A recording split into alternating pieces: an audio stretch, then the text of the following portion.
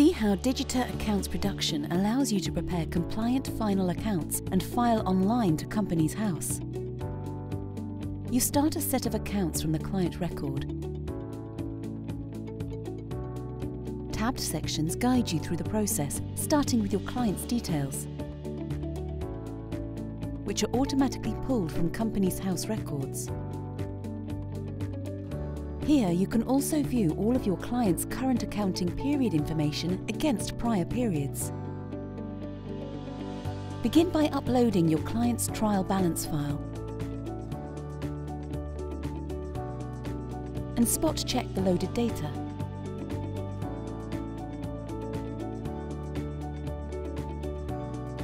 Then drag and drop the nominal codes to the corresponding field before checking for any errors and finalising the import. The trial balance information is then ready for your review, with the option to create a journal manually. Next, select from a list of all relevant disclosures associated with the entity and choose from a range of report templates to suit your needs. The final set of accounts is automatically generated, which can be edited. And includes IXBRL tagging.